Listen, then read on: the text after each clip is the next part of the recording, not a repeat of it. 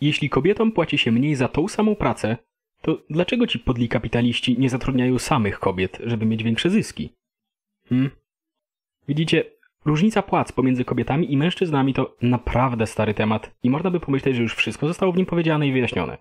No ale niestety w popularnych mediach, zarówno polskich, jak i anglojęzycznych, nadal co chwilę można zobaczyć opinie głoszące tak absurdalne bzdury w tym temacie, że można by pomyśleć, że wielu dziennikarzy i celebrytów nadal nie zna faktów na ten temat.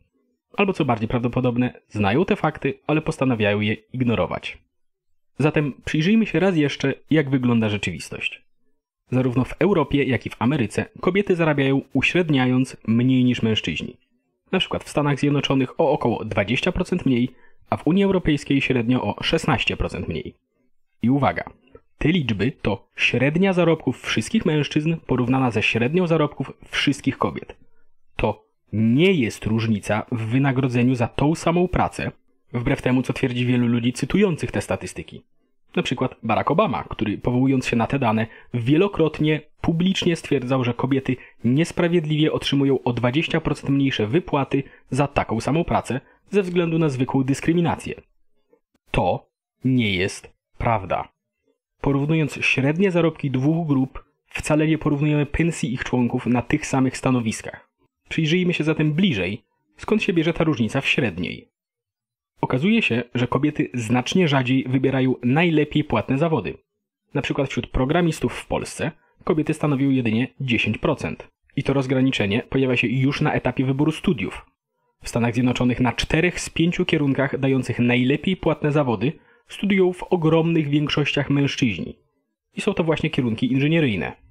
Natomiast kobiety znacznie częściej wybierają zawody związane z pracą społeczną. Na przykład w USA wśród nauczycieli stanowią one 81%. To mężczyźni znacznie chętniej wybierają też wszelkie zawody niebezpieczne. Zarówno w Polsce, jak i w reszcie Europy ponad 90% śmiertelnych wypadków pracy dotyczy właśnie mężczyzn. Kobiety znacznie częściej pracują też na mniejszą część etatu oraz wypracowują mniej nadgodzin. W Stanach mężczyźni pracują średnio 8 godzin 10 minut, a kobiety 7 godzin 45 minut dziennie. Po uwzględnieniu tych wszystkich czynników, średnia różnica wynagrodzenia między kobietą a mężczyzną wykonującymi podobną pracę na podobnym stanowisku nie wynosi kilkanaście czy 20%, tylko 2%. Dodatkowo należałoby jeszcze uwzględnić przykład to, że mężczyźni chętnie się przeprowadzają w poszukiwaniu pracy, lub to, że kobiety są, uśredniając, bardziej ugodowe i mniej chętnie wchodzą w sytuacje stresujące i konfliktowe, jak na przykład negocjowanie z szefem o podwyżkę. I oczywiście nie da się przeprowadzić badania, które uwzględniłoby absolutnie wszystkie z tych czynników, ale wyraźnie widać, że im więcej z nich weźmie się pod uwagę, tym bardziej ta różnica zbliża się do zera. To znaczy, kobiety i mężczyźni na podobnych stanowiskach i wykonujący podobną pracę zarabiają mniej więcej tyle samo.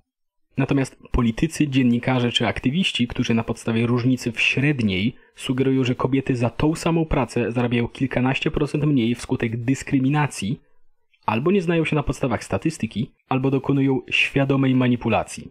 I nie zrozumcie mnie tu źle, absolutnie nie twierdzę, że przypadki faktycznej dyskryminacji się nie zdarzają. Jestem pewien, że gdzieś znajdzie się jakaś męska szowinistyczna świnia, która zapłaci kobiecie mniej tylko i wyłącznie dlatego, że jest kobietą. Z tym, że jeśli coś takiego się zdarza, to taka sytuacja jest w Polsce nielegalna i powinna zostać zgłoszona na policję, tak jak każde inne przestępstwo. Okej, okay, czyli raz jeszcze podsumowując. W Polsce, tak samo jak w Europie i w Ameryce, kobiety i mężczyźni za podobną pracę otrzymują podobne wynagrodzenie. Różnica w ich uśrednionych zarobkach wynika z tego, że kobiety częściej wybierają mniej płatne oraz bezpieczniejsze zawody. Pracują średnio krócej oraz z powodu wielu innych, swoich własnych wyborów. Należy tu odnotować, że częsty zarzut, jaki można do tego wniosku usłyszeć, to to, że kobiety dokonują takich, a nie innych wyborów, ponieważ zostały tak wychowane. I tego właśnie oczekuje od nich społeczeństwo. I że to jest problem. I jeśli tylko usuniemy te opresyjne normy społeczne, to kobiety chętniej będą wybierały na przykład przedmioty techniczne i będą zarabiały więcej. Ale ponownie, to wcale nie jest prawda.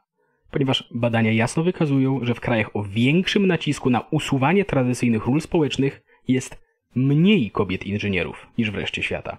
Na przykład w krajach skandynawskich, paradoksalnie, mniejszy odsetek kobiet idzie na studia techniczne niż na przykład w Indiach, Algierii czy Albanii. Ponieważ jeśli usuwa się kształtujące nas normy społeczno-kulturowe, to tym głośniej odzywają się w nas nasze uwarunkowania biologiczne. A biologicznie jesteśmy po prostu różni i zwykle interesują nas inne rzeczy.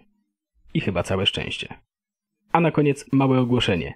Mija właśnie pierwszy rok funkcjonowania naszego kanału, dlatego z tej okazji ogromne, wielkie dzięki dla wszystkich naszych stałych widzów, subskrybentów i patronów na Patronajcie. Jest was znacznie więcej niż zakładałem, że was będzie i niezmiernie mnie to cieszy. Naprawdę zawsze miło jest widzieć, że ktoś docenia naszą pracę i jest chętny ją oglądać. Jak dobrze pójdzie, to w przyszłym miesiącu postaramy się zrobić coś w nowej formie. Ale o tym za jakiś czas. Raz jeszcze wielkie dzięki i pozdrawiam. Jeśli podobał się Wam ten odcinek, to zobaczcie również inne nasze filmy. Zachęcam też do odwiedzenia naszego Facebooka, a jeśli ktoś chciałby nas wesprzeć, to zapraszam na nasz profil na Patronajcie. Do usłyszenia.